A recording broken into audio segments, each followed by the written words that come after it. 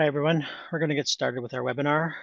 Uh, so this webinar today is Cannabis Edibles and Cannabis Cafes, a literature review and environmental scan. I'm Greg Penny. I'm the Director of Programs here at the Canadian Public Health Association, and I will be moderating the webinar. Uh, just some housekeeping. So just uh, before I introduce uh, our two speakers, um, this uh, webinar is part of the series of cannabis webinars the CPHA has held over the last uh, year. And uh, our focus has been on normalizing the conversation and not consumption or not normalizing consumption.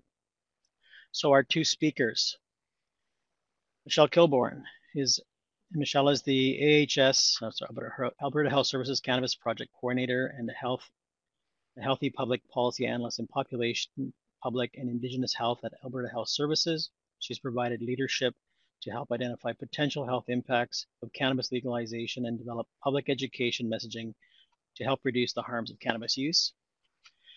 And Jason Mumme, Jason is a research officer in provincial addiction and mental health at Alberta Health Services. He provides research and evaluation support at different units across Alberta Health Services. Jason was the lead researcher on this cannabis literature review project. So with that, I'm going to turn the presentation over to Jason and Michelle. All right, thank you for that introduction, Greg. Um, so as you just heard, my name's Jason, and I'm joined by my colleague, Michelle, and you'll be stuck with me for the first half of the presentation today, and then I'll hand things over to Michelle. But before we delve into the presentation, I'll bring everyone up to speed on Canadian cannabis edibles regulations. So currently in Canada, the sale of cannabis edible products is illegal, Individuals can make cannabis-infused foods at home, but it's illegal for anyone to buy and or sell them to the public. In December of 2018, Health Canada published proposed regulations for the second wave of recreational legalization in Canada, which will cover additional cannabis products such as edibles, extracts, and topicals. And those regulations underwent a public consultation process, which ended in February, and now Health Canada is reviewing the responses. So according to Health Canada, this second wave of legalization will be taking place at a date no later than October 17th, 2019. And once this second wave comes into effect, cannabis edibles will be permitted for legal sale in the country.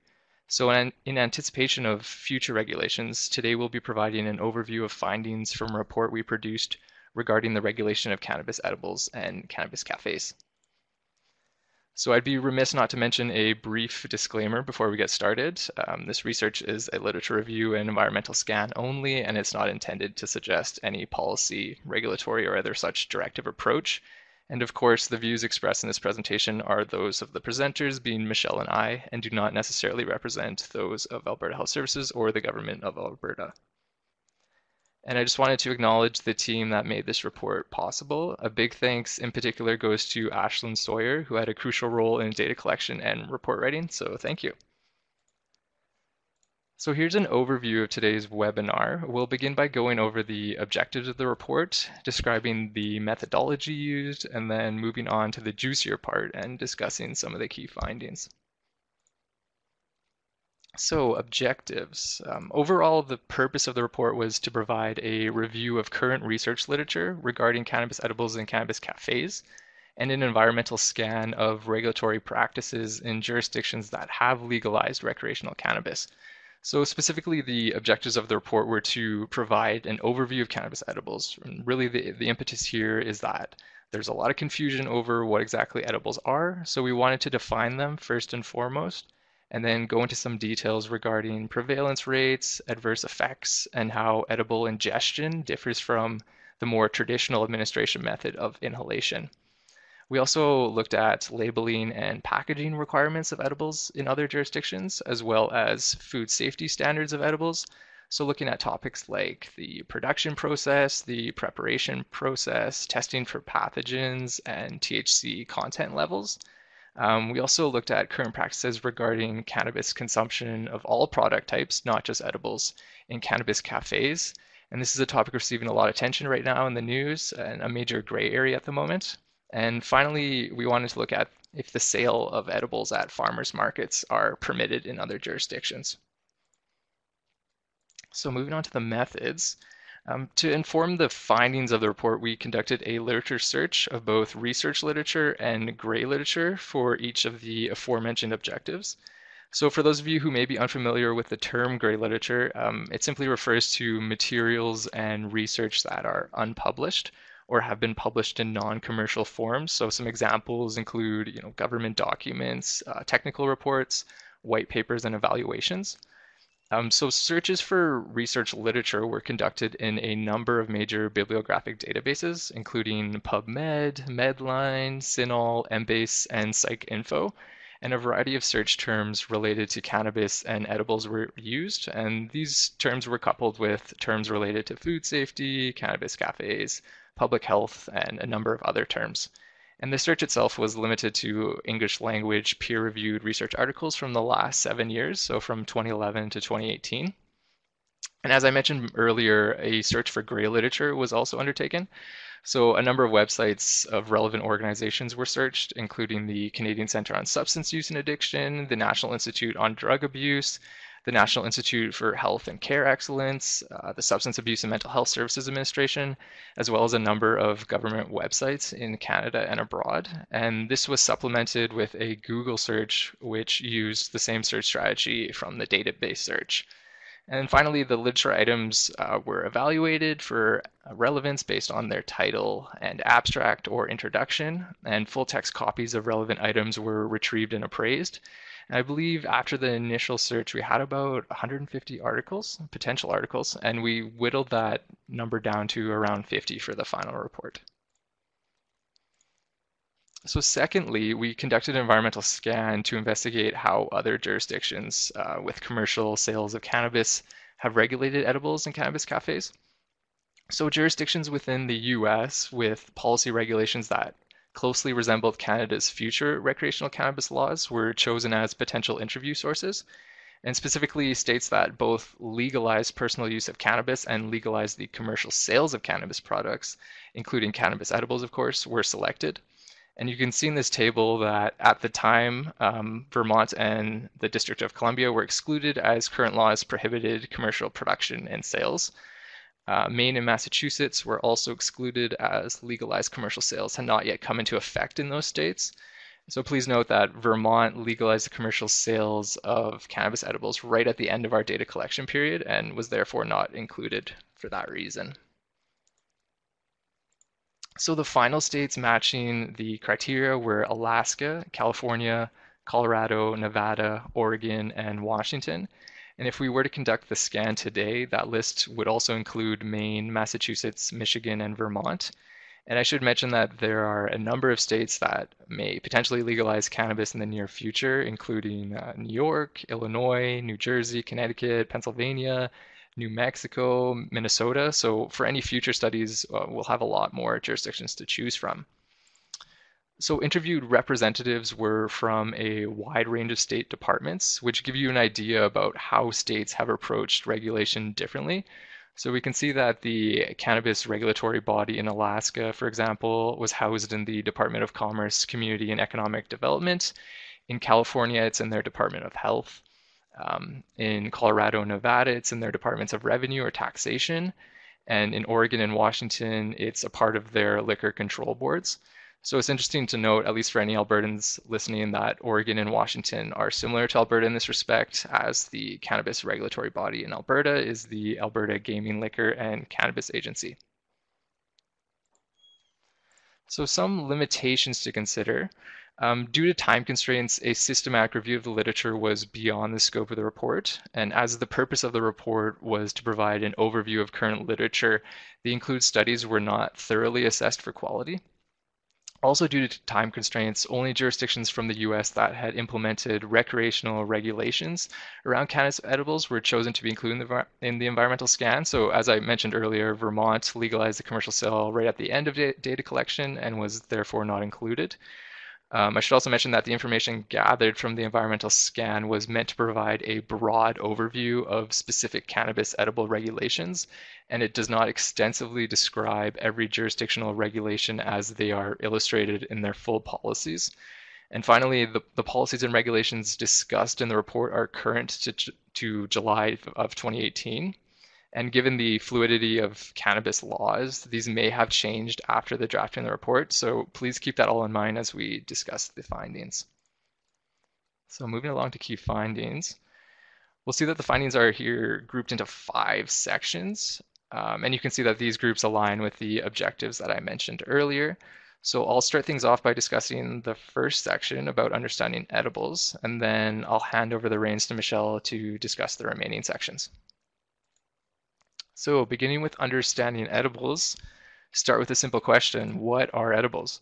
So cannabis edibles are food products made with cannabis flower or extract, and they can contain entire leaves or very finely ground material, semi-refined material like hashish or resin, or moderately to highly refined cannabis extracts and concentrates such as hash oil.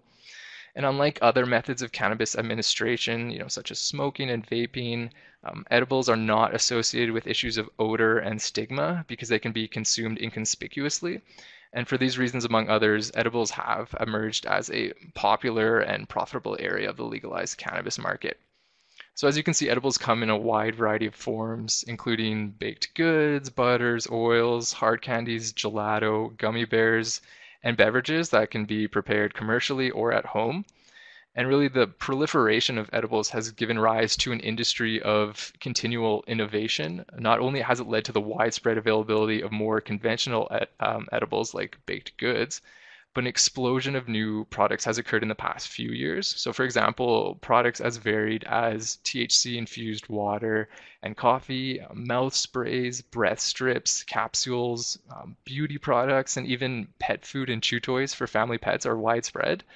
So an already robust edibles industry will undoubtedly continue to grow as more product and consumption options emerge. And I can tell you, it was quite the eye-opening experience to search through cannabis uh, dis- um, cannabis uh, retail websites in the U.S. Um, the scale and diversity of the products was really staggering.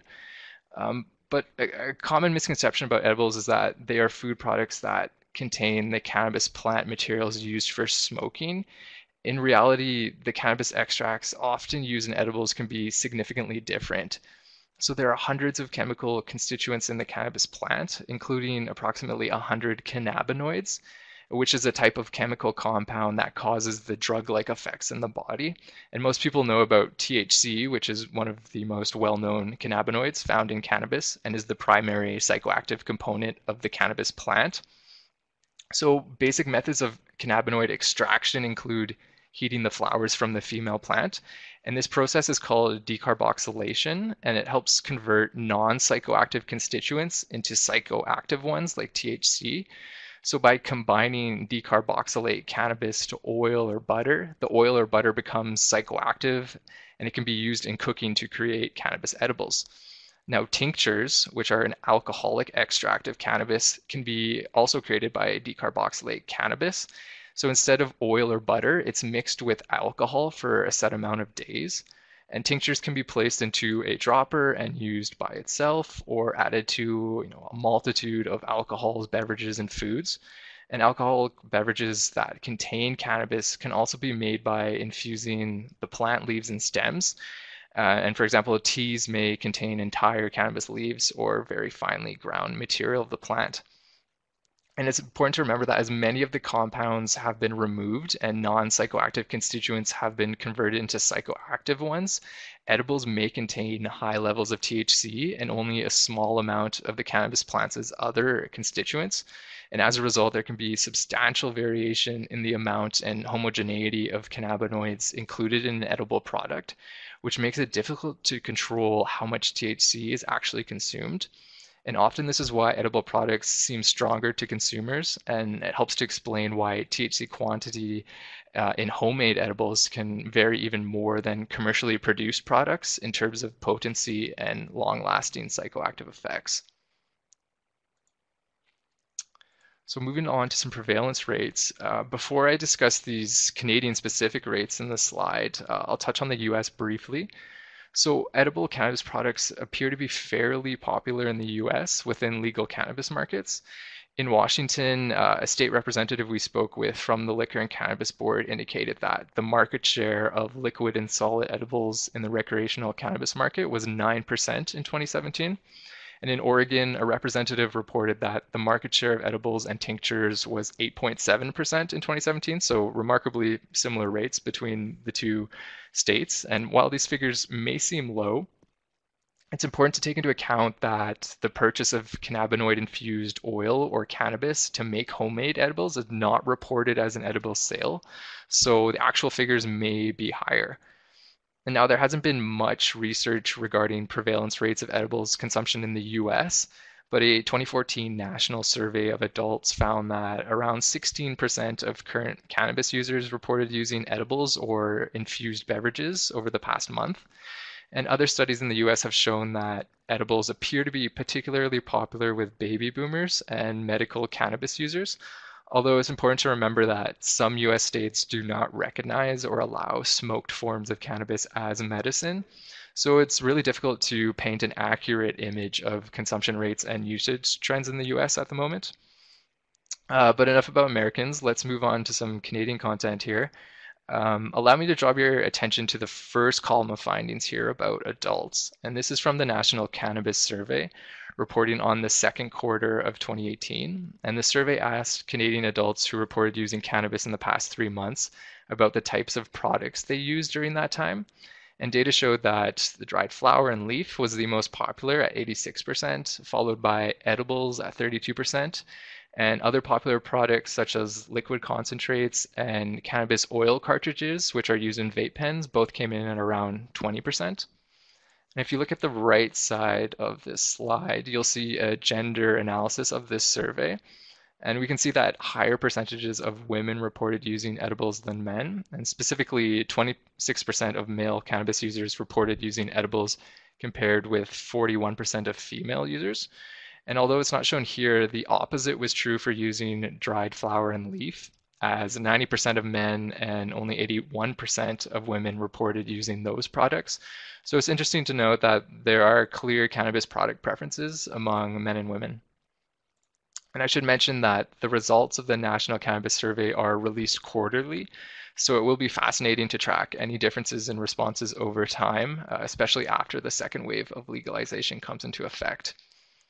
Now moving on to the youth data on this slide, this is from the Can Canadian uh, Student Tobacco, Alcohol and Drug Survey, which found that nearly a fifth of Canadian students in grades 7 to 12 reported using cannabis in 2016-2017.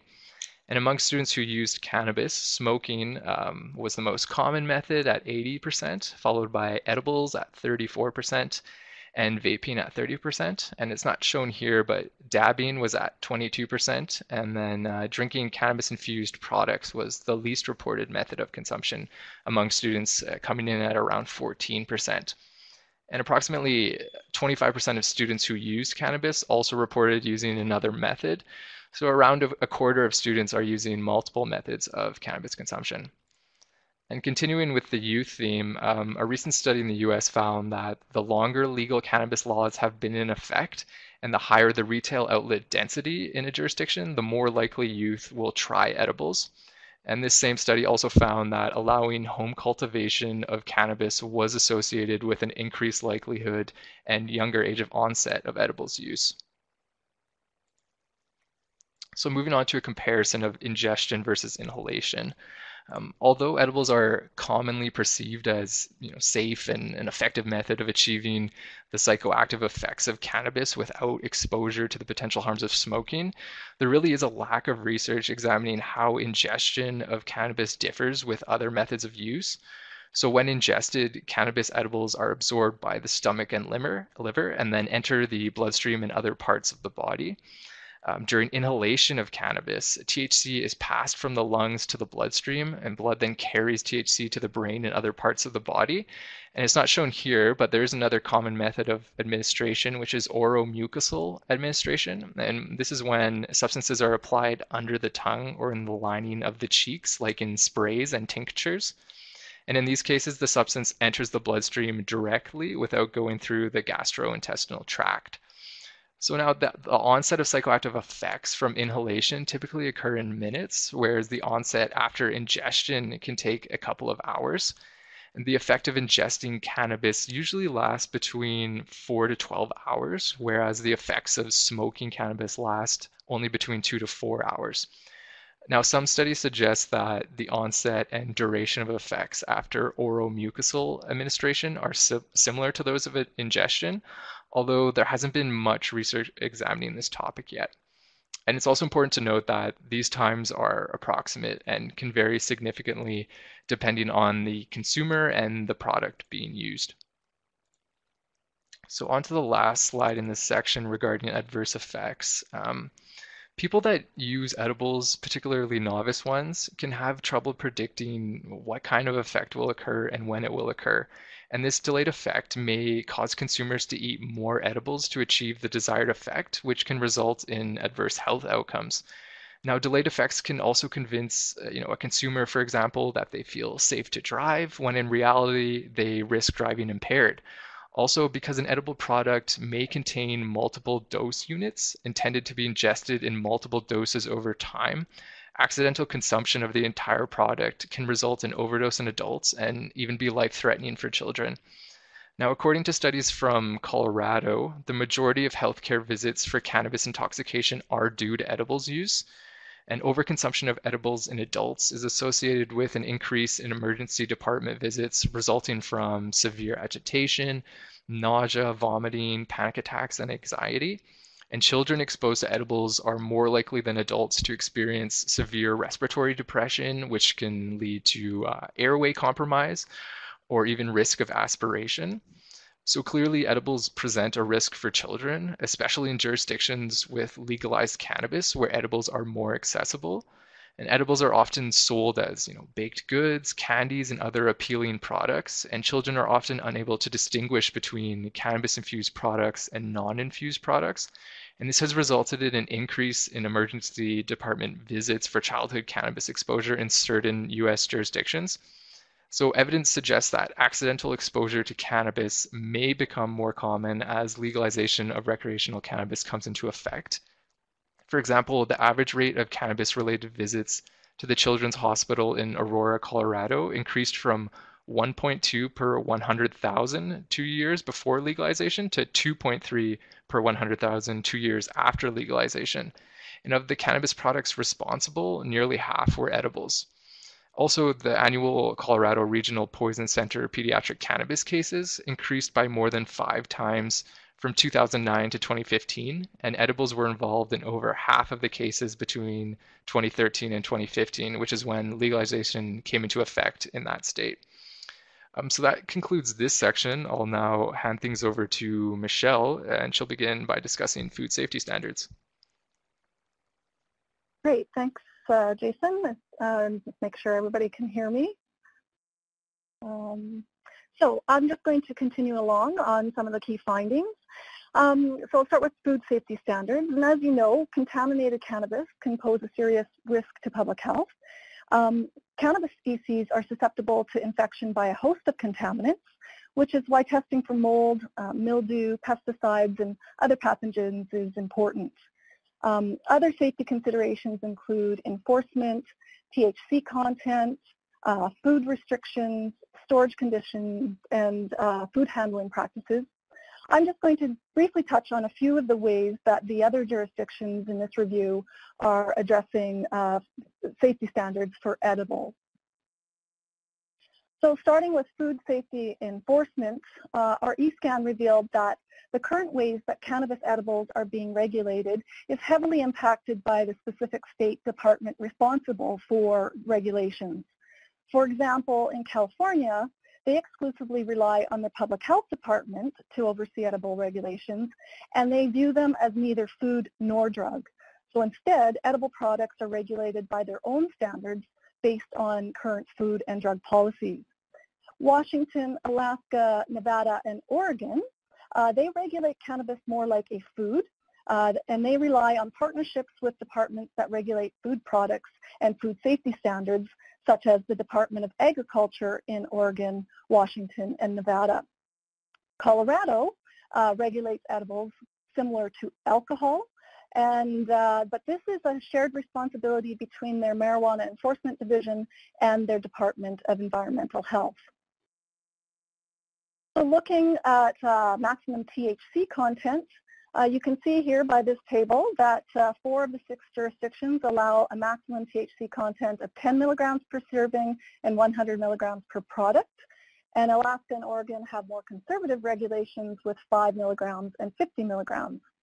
Um, most states said that THC levels were decided through collaborative stakeholder consultations with industry, uh, health professionals, and consumers, uh, as well as lessons learned from other legalized jurisdictions.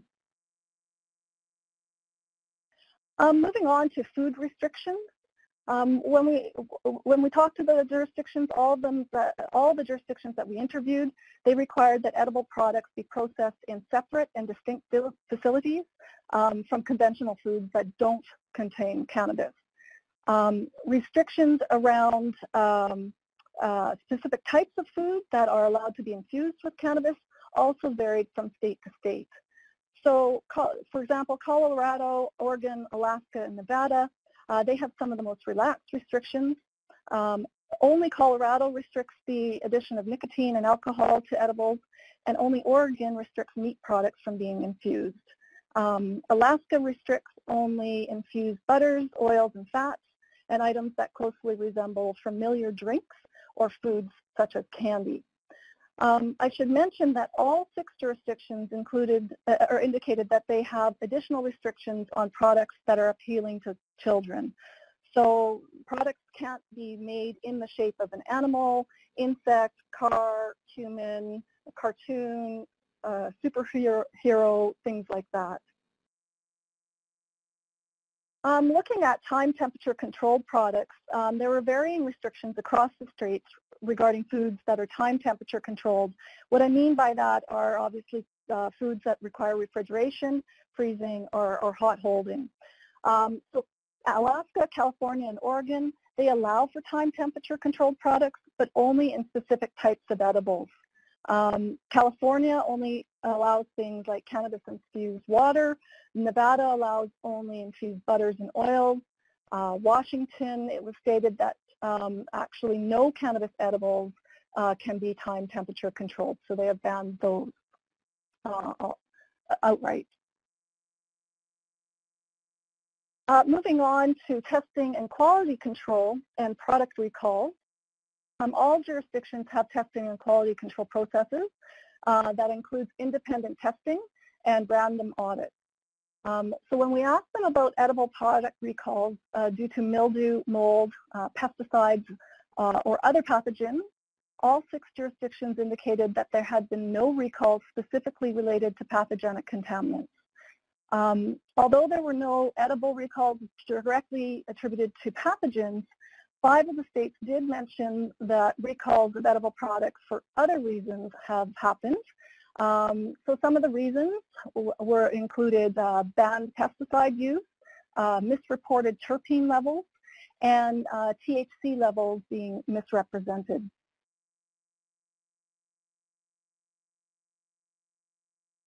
When we asked them about home-prepared edibles, uh, none of the uh, jurisdictions said that they had guidelines or had created guidelines for consumers on how to prepare home edible products.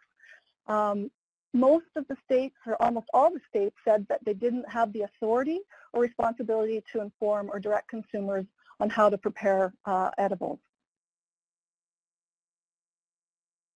And looking at public, uh, public awareness and, and standards, so in terms of public education and awareness campaigns, uh, all the jurisdictions reported that public health was responsible for public awareness about laws and health information uh, whereas the cannabis boards and commissions uh, provided legal, legal, legal information, licensing, labeling, packaging, and required warning information to stakeholders.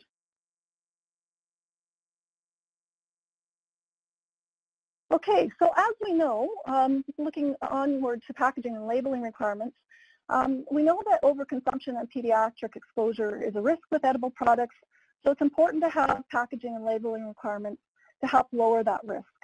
Now, although some states did not begin with strict packaging and relabeling requirements, such as maximum amount of THC uh, per product uh, and a clear separation of each standardized serving, uh, most have done so uh, done since. So um, generally, it is accepted that packaging and labeling, along with public education, can help inform consumers about the possible risks of edibles and help prevent accidental ingestion.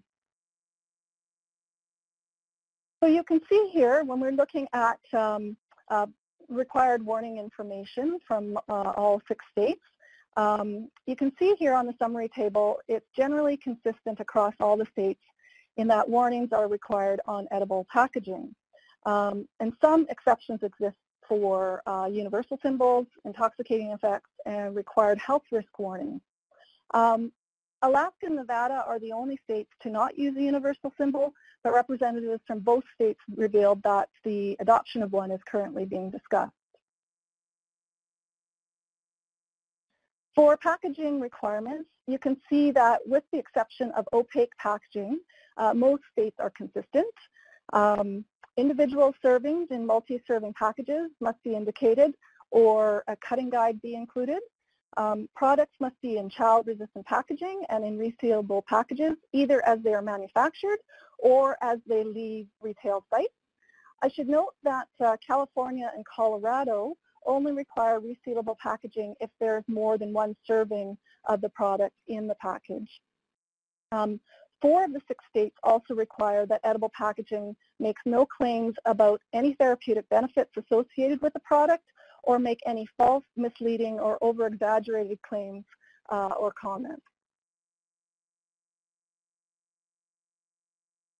So with labeling requirements, you can see by the table that there's some variation in labeling requirements across the jurisdictions. Uh, all six jurisdictions require that edibles include an ingredient list, uh, the total amount of THC in the product, and a unique ID or batch number.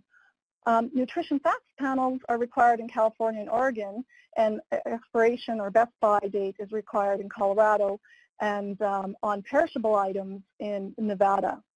Uh, three of the six states also require edible labeling to include disclosure of pesticides, uh, with Washington only requiring it to be part of their accompanying materials they provide to consumers at retail stores. So that kind of rounds out some of the key features of regulations related to packaging and labeling in the six states. Um, what I'm going to do is now, um, in, in, this next section, is briefly discuss our findings regarding cannabis cafes and farmers markets, um, as well as uh, cannabis social clubs. Um, so in some jurisdictions, um, there is interest in and permitting formalized spaces such as cafes and lounges to provide access to cannabis for adult uh, consumption. Um, these are licensed establishments that allow the use of legal cannabis by adults on the premises and in some cases permit the sale of cannabis products for use on site. So of the jurisdictions interviewed, for the most part, all do not permit cannabis cafes. Um, there is an exception in terms of California and Colorado who indicated that cannabis cafes are somewhat a gray area in their cannabis laws. Um, in Colorado, they mentioned that because local and state jurisdictions have the responsibility of enforcement, cities like Denver uh, have been able to pa pass bylaws allowing for establishments that are BYOC, so bring your own cannabis. Um, in California, representatives mentioned that uh, these types of places have been permitted in a couple of cities like Los Angeles and San Francisco, um, and they are regulated by their own Bureau of Cannabis Control, so not a state level um, um, initiative. Um, on this topic, we did go outside the U.S. and looked at the Netherlands uh, as well. So um, the Netherlands, often perceived as a mecca of cannabis, uh, is quite a unique case. Um, although the cultivation, supply, and possession of cannabis are criminal offenses, there is the policy of tolerance that evolved into what is known as cannabis coffee shops. Um, tolerance of coffee shops reflects the Dutch's uh, drug policy objective of preventing consumers from entering uh, the illegal drug market. Um, since their inception, uh, cannabis coffee shops have faced increasing restrictions uh, nuisance, nuisance, issues, including traffic problems, noise, loitering, um, as well as a large number of tourists. This became problematic over time, and in response, um, policy measures were implemented to relocate coffee shops away from city centers and in some instances were closed by local authorities altogether. Um, coffee shops are licensed by municipalities and are subject to strict conditions, uh, including age access, co-sale and co-use of other drugs, uh, controls on advertising and marketing, and a zero tolerance for public nuisance. Uh, nearly two-thirds of Dutch municipalities do not permit cannabis coffee shops, and the total number of coffee shops in the Netherlands has gradually re been reduced from 846 in 1999 to where it currently where it is in 2013 in, is 614. Um, I should note that in 2018, uh, The Hague, which is the third largest city in the Netherlands, uh, banned public consumption of cannabis altogether. Now to round out this section related to consumption facilities, we explored what are referred to as cannabis social clubs. Uh, cannabis social clubs are typically nonprofit associations uh, of cannabis consumers that self-supply and self-organize. Although individual uh, cannabis social clubs have their own unique designs, the general criteria includes uh, that there must be an official registration, um, only adult nationals or res residents uh, can be members.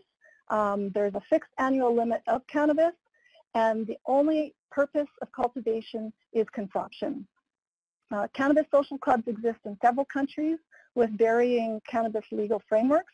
Most notable are Spain, Belgium, and Uruguay. Um, advocates of this model think that these clubs provide a safe environment for peer-delivered harm reduction practice and where consumers have direct control over product quality and consumption. Uh, detractors are concerned about hidden motives and that under-regulation can result in poor quality control practices.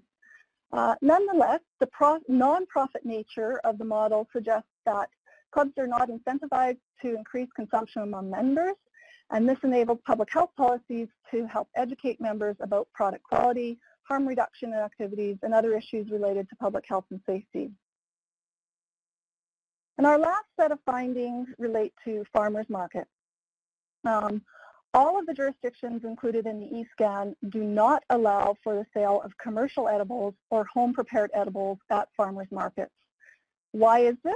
Well, most of the issues are in and around public consumption bans, uh, a concern for public safety, uh, presence of minors, uh, and the modeling behavior uh, and, and around that issue, absence of security, and of course control and monitoring.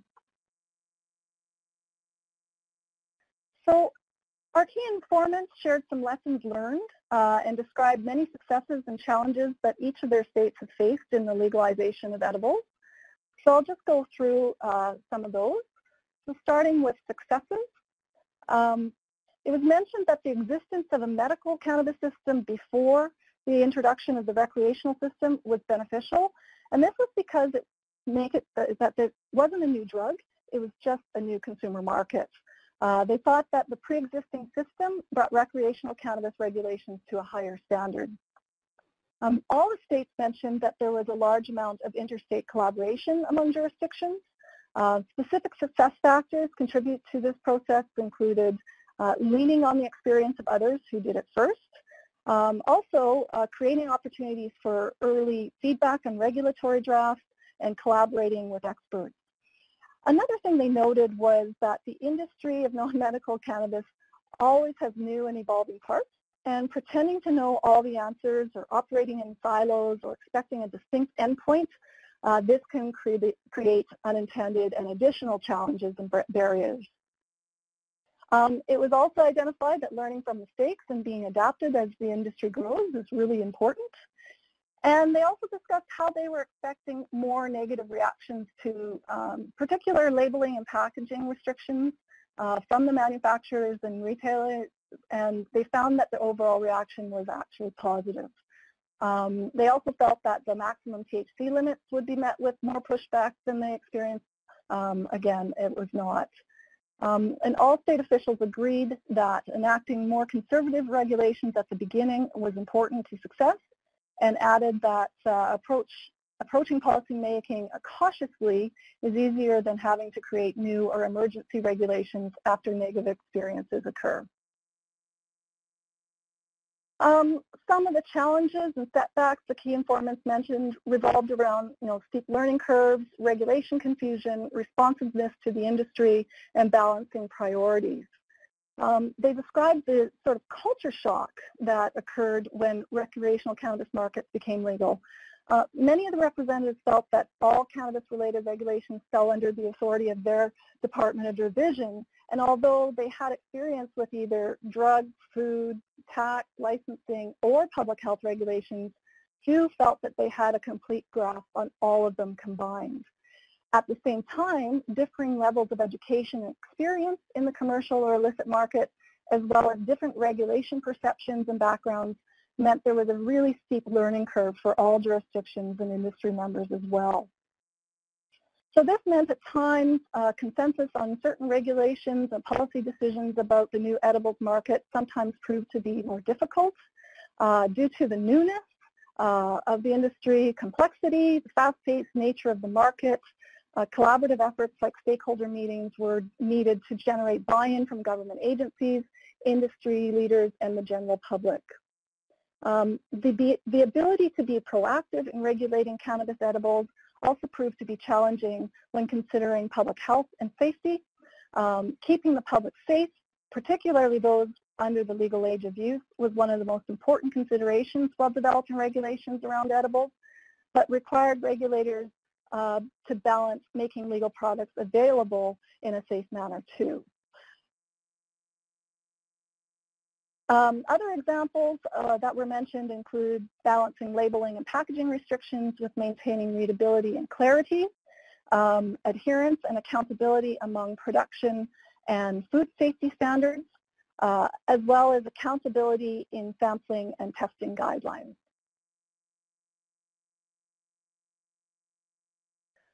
So overall, edibles have become a popular product in the legalized cannabis market and are uh, a profitable industry for manufacturers, retail outlets, and jurisdictions.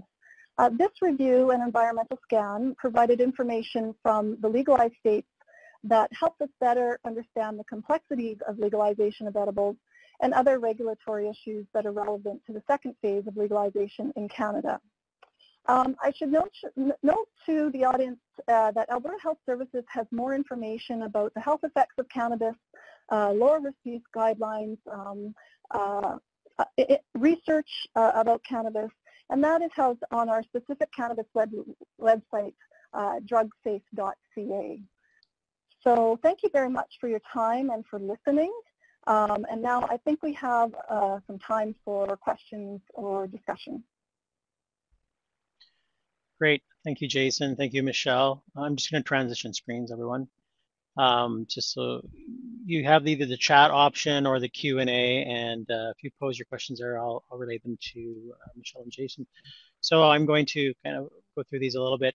So I guess the first question is around the availability of your report. Is it publicly available? Will it be available? And if so, uh, do you know when that would be?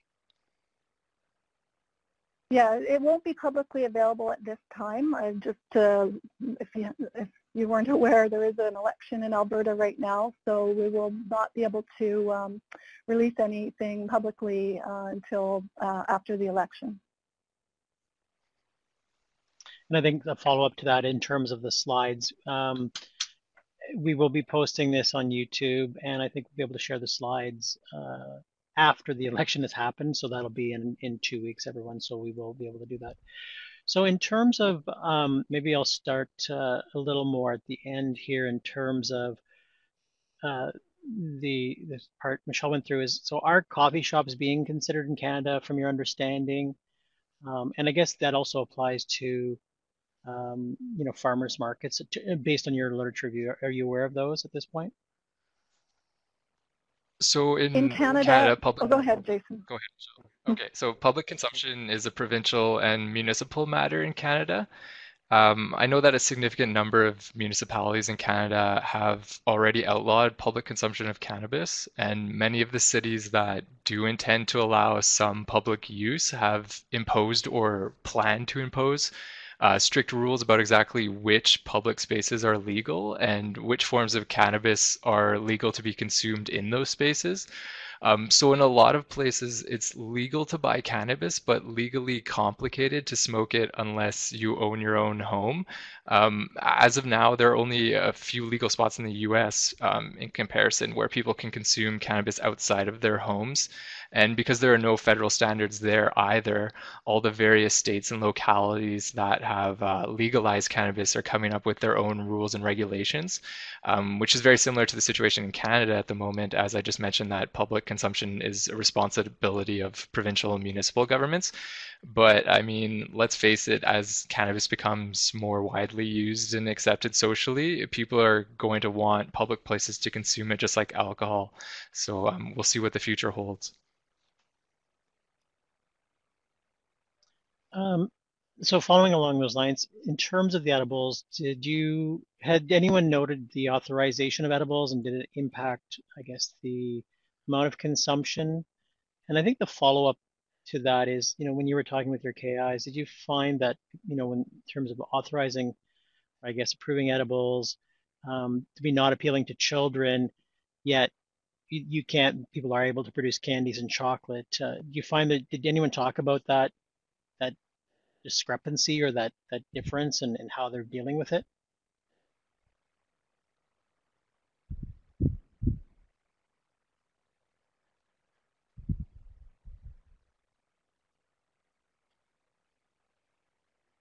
Hi, Jason. Are you still there? Hello? Mm-hmm. Sorry, you cut out there for a second.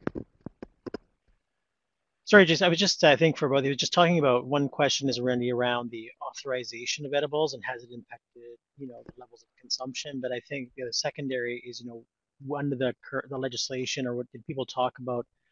Um, you know they're allowed to produce candies and chocolate, but they also say not attractive to children.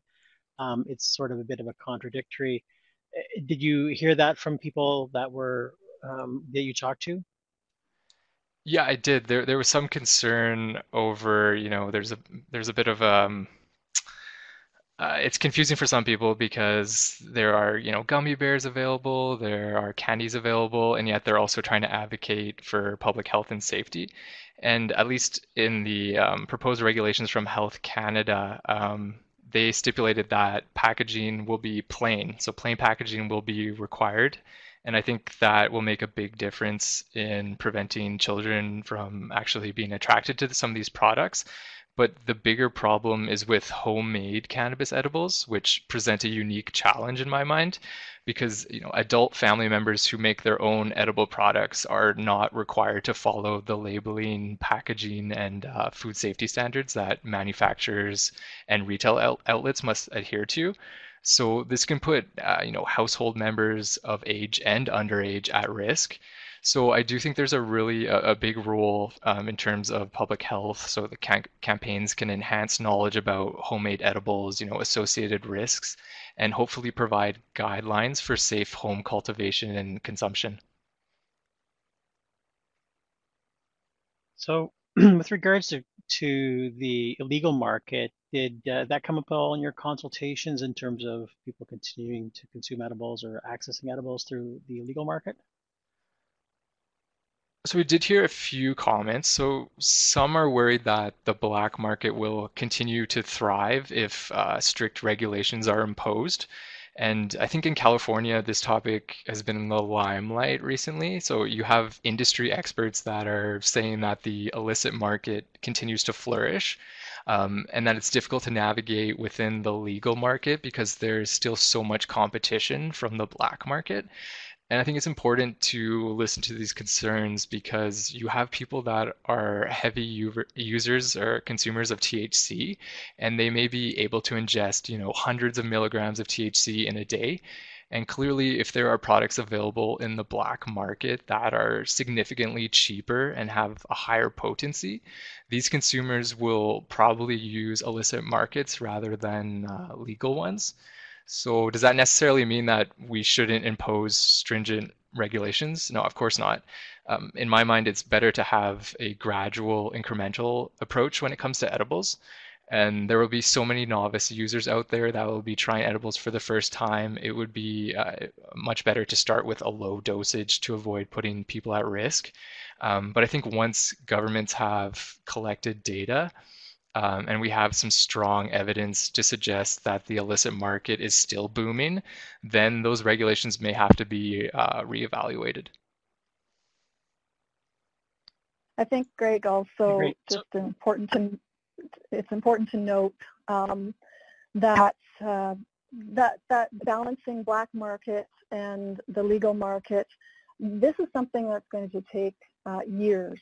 And so looking at trends in the first year of legalization, which is where California is at, um, is really problematic. So I think we just have to uh, keep uh, reminding um, ourselves that uh, these sorts of things do settle out over time or expected to. Um, and there are a lot more factors involved in terms of supply and demand and, and the marketing and uh, balancing with the legal market um, than we necessarily know at the beginning. So again, that precautionary approach is, uh, I think, one that's prudent here. This is going to go back a little bit in terms of towards the earlier part of the presentation, but I think, Jason, you presented around some of the methods of consumption and timing. Um, one of the areas you didn't touch on was topicals and, and sort of the absorption time and, and rate, but also you give a little bit of perspective in terms of um, you know, the different methods and sort of their onset time and then how long they last. Just a really quick overview of that again. So could you go kind of go through smoking and inhaling and then tinctures and versus like topicals? Yeah, sure. So to begin with topicals, we we couldn't find any reliable information about, you know, onset of effects and duration. And even with the oral mucosal administration that I mentioned, so that involves like tinctures. So when it's applied under the tongue, under the tongue or in um, the linings of the cheek, there really wasn't a lot of evidence out there. So I was trying to be cautious when I made some of those statements earlier. But um, in terms of liquid concentrates, which are often consumed through the oral mucosal administration or in when it's ingested, um, that's that's completely different from when um, it's smoked or vaped, which involves the inhalation and exhalation of vapor. So they're just they're going through different parts of the body, so they're affecting the body at a different rate. Um, and as I mentioned, there's really a paucity of research examining, you know, the onset and duration of effects after oral mucosal administration. Um, so from what we found, this method has similar effects to that ingestion, although at least in my opinion, it's still a gray area. And I'm really hoping that future data will give us a better idea of how oral mucosal administration and topical administration compares to ingestion and inhalation in the future.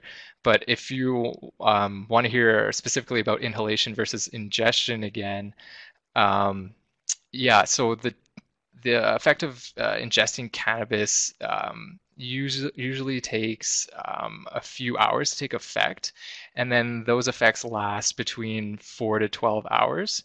In comparison with inhalation, um, effects can take um, can occur in a few minutes, and then usually last between two to four hours. Although again, it's important to remember that these times are approximate and can vary significantly um, depending on the consumer and the product being used.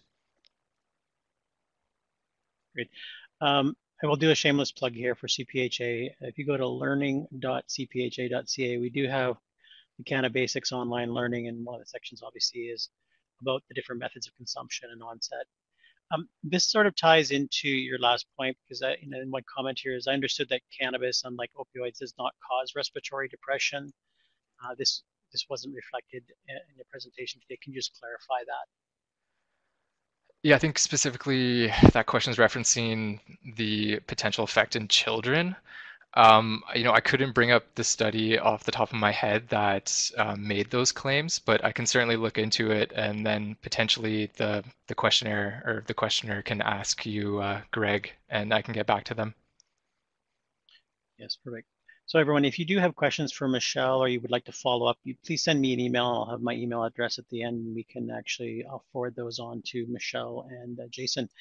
Um, so just further questions, and then we've got about five more minutes, people. Do you, uh, so do you see cannabis beverages more problematic than other forms of cannabis? Um, do you see any specific issues related to those products?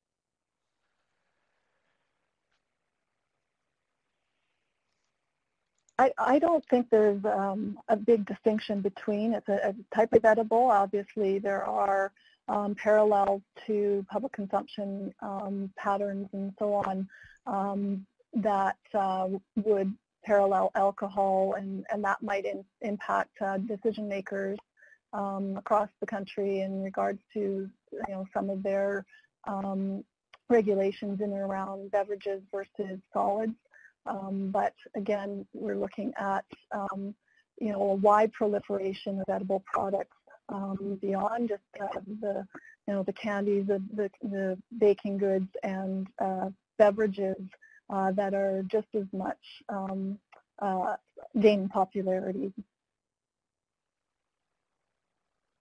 Um, prior to my next question, I actually would just like to point out something, and this is something that I have done in the past, and, and somebody has pointed out. I think it would be preferable for everybody to to use uh, the term illegal market, uh, not black market. That is a colonizing term and a, uh, an inappropriate term. So um, I think that goes for all of our audience, if you could. And I thank you for having that pointed out. Um, is there any reason to believe the use of edibles will be patterned by socioeconomic status differently than would or does smoked cannabis?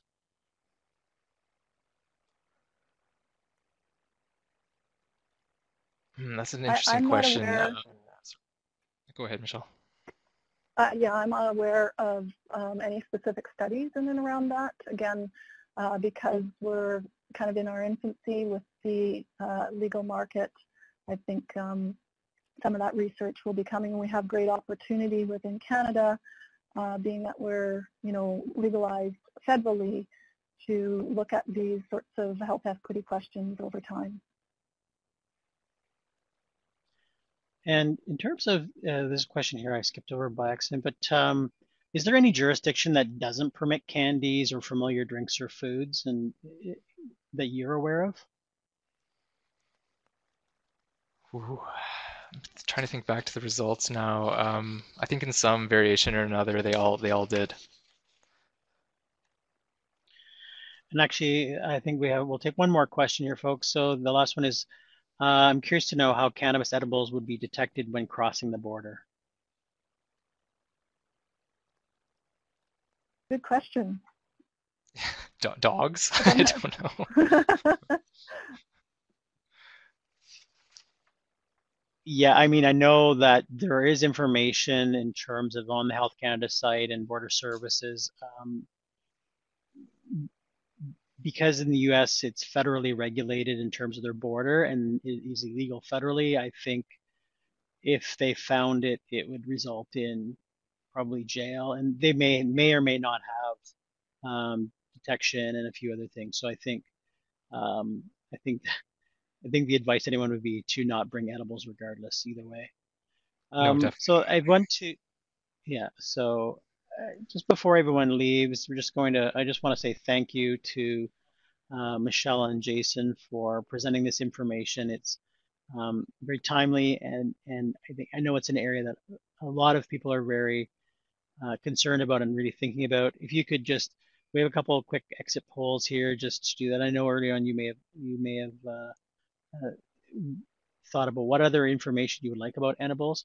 So, um, and the other thing I would plug is the uh, we do have the weekly update. Where now we're moving to biweekly. If you would like to join that, and uh, we do have an online learning series around, really around the basics of this. And, one of the methods, obviously, is around uh, oral mucosal and ingested, which is I think really important. So.